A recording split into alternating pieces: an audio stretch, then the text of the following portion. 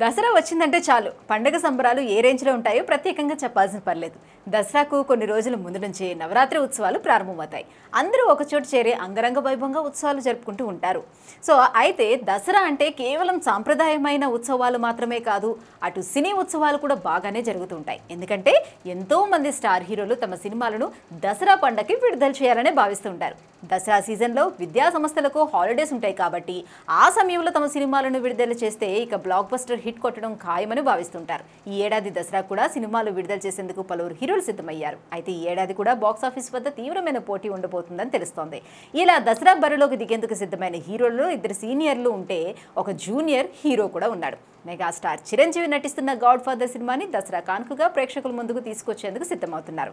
నందమూరి నరసింహం బాలయ్య నటించిన తన నూట ఏడవ సినిమా షూటింగ్ కూడా ముగింపు దశకు చేరుకోవడంతో మిగతా అన్ని పనులు పూర్తి చేసుకుని దసరాకి సినిమాను ప్రేక్షకుల ముందుకు తీసుకురావాలనుకుంటున్నారు మేకర్స్.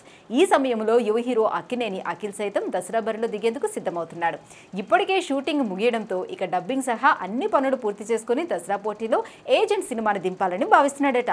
ఇలా ఇద్దరు సీనియర్ హీరోలు ఒక జూనియర్ హీరో మధ్య బాక్స్ ఆఫీస్ వద్ద పోటీ ఉంటే ఇక ఎవరు గెలుస్తారో అనేది చాలా ఇంట్రెస్టింగ్గా మారిపోతుంది కదా? Pragya Media. Please like, share, and subscribe to Pragya Media. Please like, share, subscribe to Pragna Media. Please like, share, and subscribe to Pragnya Media.